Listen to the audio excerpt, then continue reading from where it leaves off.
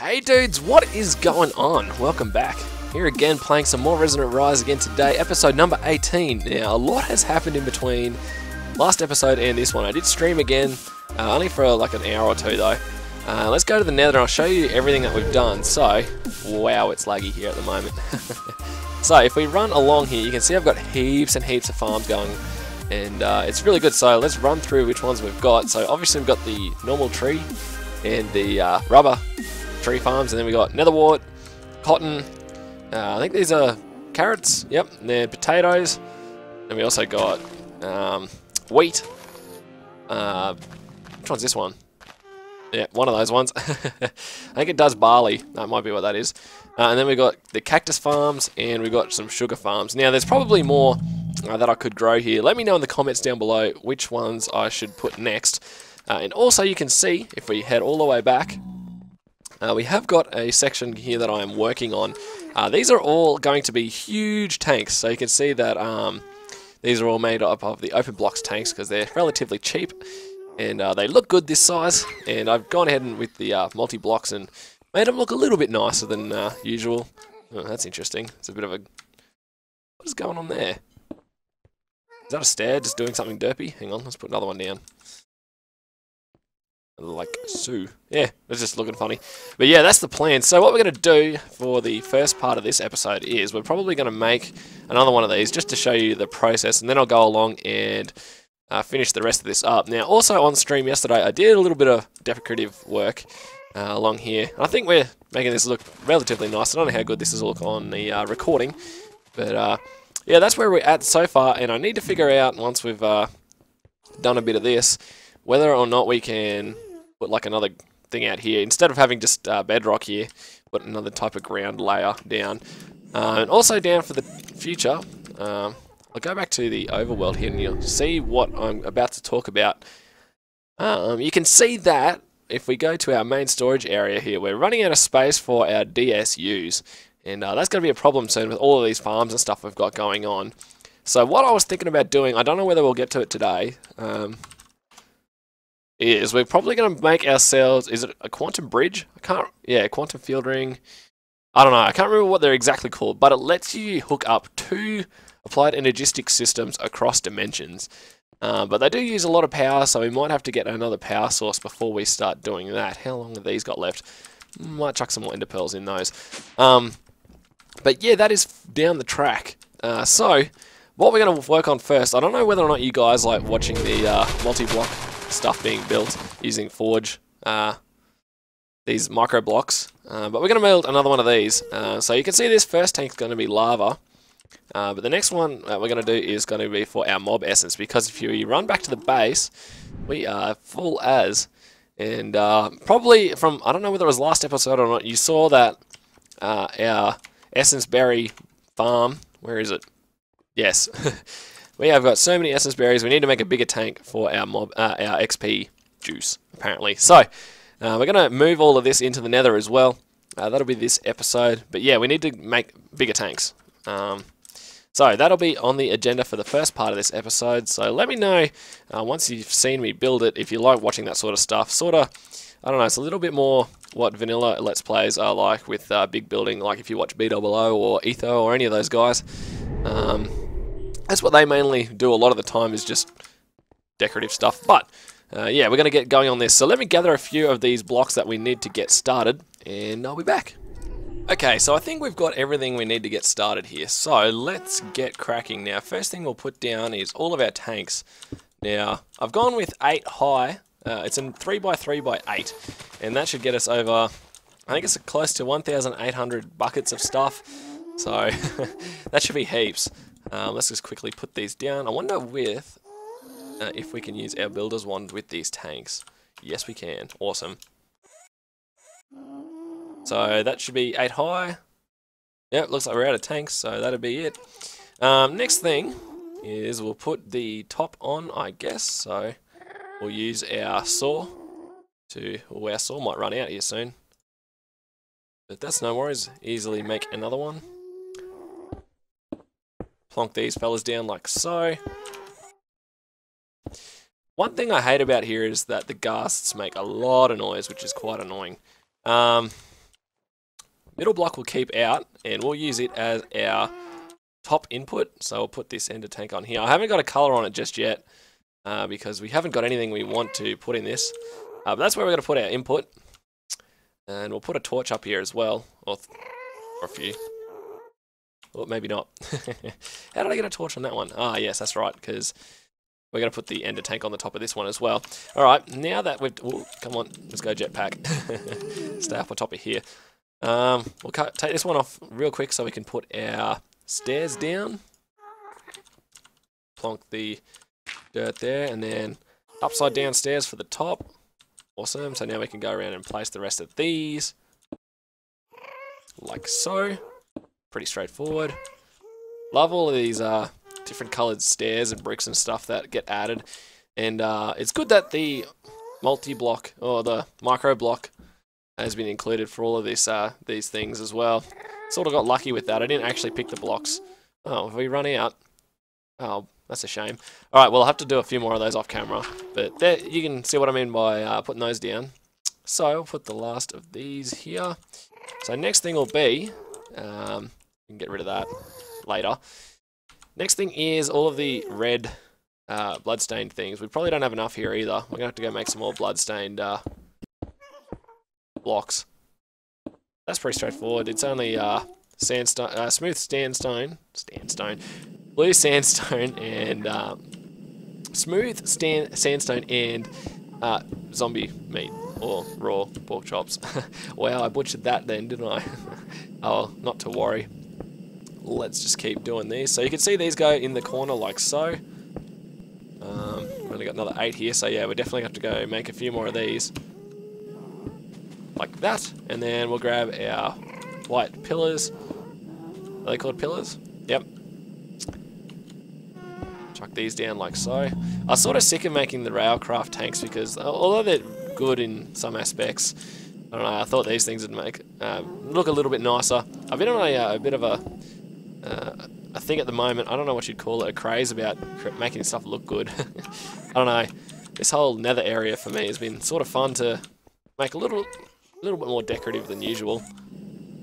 Um, it's been a lot of fun so far. So yeah, that is basically it.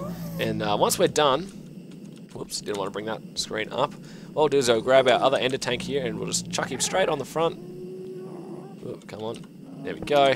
So, yeah, that is essentially what I'll be doing. So I'm going to go along now and do a whole lot more of these. So the fluids that I've got so far is lava, mob essence, uh, liquid XP, water, uh, oil, because when I was, um, where's the journey map? See if I can get to the nether from here. Um, options. How do I change, uh, use browser, auto map? I don't know whether or not we can get to the overworld. Nope, probably not. Doesn't matter. But yeah, in the overworld I found an ocean uh, oil fields biome, which is awesome. So we'll get a whole heap of oil. Um, also got biomass, we'll, we'll extend this way, way down here. And uh, I don't know whether I mentioned it or not, but yeah, what we're going to do is build a massive storage room down here at some stage for our DSUs. So, let me go and finish off these tanks, and once I've done so, we'll get started on something else for the rest of this episode. Okay, so as you can see here, I've got all of my tanks uh, lined up here, all fully built, and I've slowly been putting uh, the liquids in that were uh, in the other place. I haven't quite got this Mob Essence one uh, done, but as you can see, let me just, ooh, I need to reassign my jetpack here. There we go. So fly up to the top. I have uh, decided to use Tesseracts instead. Now, this one's hooked up to our Liquid XP tank uh, from the... Um, from our main base, that's how we got all of our liquid XP over here. And the fluid mode is set to receive only, so that's how we're going to run this one, just for now. Um, but what we need to do is hook up our, our system again for getting our um, berries into uh, into the liquid XP. So let's go ahead and start setting this up. So we want our autonomous activators, like so, two, three, they're all facing the wrong way, but that's cool for now. We can fix this up here in a sec. Where is our hammer? Set them all facing upwards like so. Okay, so next thing will be to set the backs to blue. So that they can accept our berries from underneath. Probably don't have enough item ducts on me here, but that's fine. We can set that up in a second here. Okay, so next thing was, if we jump up, uh, we'll place a block here, and then an item, uh, a vacuum hopper just here, and then a fluid duct on top, and we could set our tesseract up on here as well. So, um, I'll have to put on, uh, we'll configure this so the XP outputs are on the top Hopefully that links up. Good, it does. I don't know whether or not I have to set this. We'll just set it like that for now. Um, it should be fine. But you'll notice if we put an essence berry in here like so, it'll right click and if I'm close by, it'll go into my inventory. So, uh, let's get some item ducts going here. Have we got any in our bag? Mm, might go get the uh, clear ones. Let's run back to the workshop and quickly get some.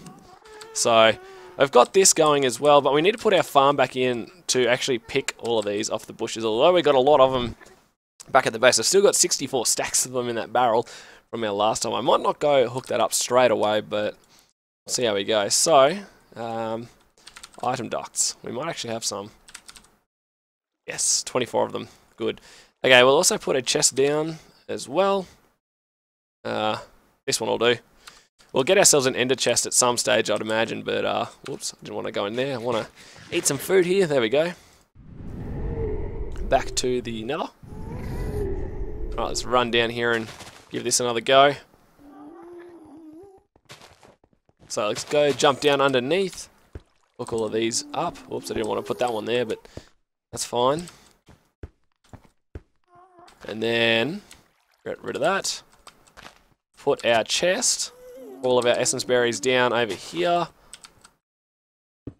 Uh, yeah, in the middle will do. I wanted it one further forward, but it'll work just fine. So now let's put a servo on this item duct so we can tell it to automatically pull out any items that come in. So uh, we want it on low. Um, wow, that ghast is having a bad time. wow. Um, See if our Tesseract's set up properly. So it's linked on Liquid XP tank. Configuration is send only. Cool, cool. So let's go ahead and chuck all of these in here and they should slowly get pulled out into different machines. Ah, okay, I see what's going on. It's all going into that middle one. Which is uh probably not what we're wanting here. Hmm, that's cool. We'll go get a whole heap more of those and stack them in that chest real quick. Oh, come on, let's fly up here. Is it actually doing anything with them though? Oh yeah. So let's let's run away and see if it's actually sending it into this tank. We should see the numbers change every so often here. Let's look at the tank. Hmm. Maybe not just yet. Whoops. Let's run over and see if it's actually exporting our liquid. No, it's not. So we have to put a servo on this one as well. Uh, whoops. Right click it. And then low. So yes, now it's going through. So if we go back over to our tank, we should see the liquid XP filling up. Yes, there we go. The number is slightly changing. So that's good. Um, we might get an ender chest hooked up at some stage over here so that we can automatically just throw the XP berries in and it'll do its thing. Um, but if I stand too close, you'll see that the levels go onto my own level bar. Maybe. Maybe not. Okay. That's good. Um, well, that, that seems to be working exactly how we want it, so I'm glad that's the case, except now we just want to fill all of them up. So I'm just going to go grab a whole heap of these berries, chuck them in, and uh, figure out what we're going to do next. Okay, so for the last little bit off camera, what I've been doing is making myself a few more tesseracts. Where is it? We're getting all this Enderium ingots just here, smelting up. And uh, if we quickly go back to... Uh, well, actually, while we're here, I'll make some more Tesseracts. Can't remember whether I've shown this uh, on camera or not. It's pretty straightforward. Oh, we need some more diamonds. Let's quickly go do something about that. Diamonds, where are we? Eight of them. Just put those. Oh, our pulverizers. Oh, no, it's not. Don't worry. It's all good. It's all good. Go two of these. There we go. I've got to do off camera. I don't know whether to show this, but we've got to figure out how I'm going to automatically smelt all of those. So, two Tesseract frames, and now we need to fill those with uh, uh, Ender Pearls. So, it's one bucket's worth of uh, Ender Pearls per Tesseract frame, and there's four Ender Pearls per bucket of liquid Ender. Does that make sense? I hope so. but yeah, they're going to fill up here in a second. And uh, once that has done, we can make ourselves two more. And what we're probably going to do is, we've still got a little bit of time left in the episode. I'm not quite sure how we're going to fill it just at the moment, but we'll find something. So uh, to start off with, we'll get these Tesseracts going. And there's one. Come on, number two. You can do it. but yeah, um, a lot of the ender pearls have been going into these uh, Enderium ingots, which is uh, what what you need them for. That's why they're so expensive. But I'm I've slightly gone and replaced everything downstairs here with Tesseracts. So let me quickly go down and show you guys. So the liquid XP coming out of both of these grinders is going straight into the Tesseracts now. Uh, the other one's down below that you can't see. And it's going through the thing called Mob Essence In. I've named my tanks so that uh, each channel uh, relates to the storage tank. So mob essence in means it's going into the storage tank, and mob essence out is meaning that it's going to the, uh, it's exporting the tank. And that one we have a tesseract behind there powering our auto spawner. Uh, so that's what that's for. Um, also, you can see all our tanks are gone from in here, so we're going to clean that up in between episodes, but I'll do that off camera. Uh, let me just quickly check these things because they weren't taking the ender pearls before for some reason. See? I don't know why that's doing that. Let me... I don't know why. I'll have to relog in a second. It's weird, but uh, yeah, I'll see if I can fix that. Um, come on, Tesseract, are you done? Yes, you are. But yeah, we'll go to the uh, nether in a second. So we need to fill this up. Uh, yep, with this one here. So then we got two Tesseracts. So let's set this up for the oil. Uh, because I think down the track, what we're going to do is, if we're going to go through with uh, powering our IC2 stuff. I don't want to go with lava because we've done that for our um, redstone flux stuff. And uh, I'd rather do something else. So we're going to have an oil tank here. We need another level of um, tanks. So I'll do that off camera, but I'll show you quickly how I'm doing this. So these have pneumatic servos in and it's pulling out of the bottom thing. You have to pull out of the bottom of the tank, otherwise it'll, if you say you're exporting from this tank, it'll get down to this level about here, and it won't suck any more of the juice out. So that's why we've got that going into that Tesseract there. Um, I haven't done anything with the lava tank just yet. I'll get to that eventually. Um, so yeah, let me go and make myself nine more tanks for the oil. I think actually I can probably do that on camera here. quickly have a look. I'll just do that off camera and then I'll meet you guys out in the oil fields so that we can get our tank going, um, our pump going so we can get some oil going into our tank. Okay, so I'm out at the uh, oil fields. Whoop, don't fall down now. and uh, you can see I've made myself an angel block. These things are amazing. So, before you go over to one of these bigger spouts, what we'll do is, uh, we'll get nice and close here. Whoop, come on. Eh, eh, eh, and we'll go somewhere like, you don't want to be exactly where we want it. Whoop. Hard to control. And we'll just place it right there. And that is pretty much perfect. So this thing allows you to just place it next to the, to the block that you're closest to in the direction you're looking without actually having to press on anything. So that is neat. So let's get our Buildcraft pump like so. Uh, let's see if we can get this back without it falling. Oh, yes, we got it. Good, good. Okay, so one Tesseract to get power here. Come on, why can't I touch it? Oh, ah, it's the Tesseract frame. I didn't get the right one. Whoops. That's alright. Okay, so uh, this one will be Endergen output. Select that to receive only for the energy mode. So we might have to use, uh, oh, I might not have any uh, energy uh, ducts on me. Tesseract frame, nope. And this one will be, whoop, don't fall. Oh, how do I go down? Z. These controls are annoying me right now.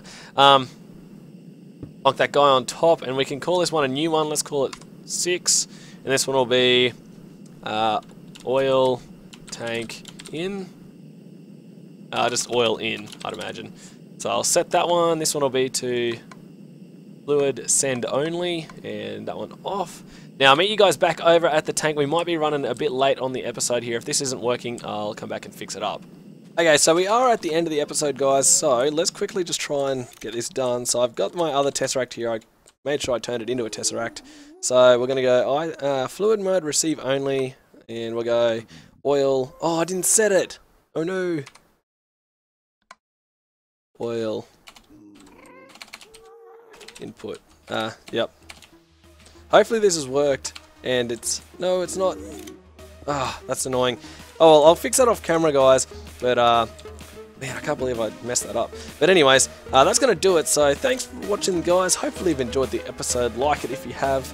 Uh, and also, if you haven't subscribed to the channel already, make sure you do because I do post fairly regularly here with Minecraft. And I'm starting to do a few different other series as well on the channel. So thanks again, guys. My name's Vince Norsby.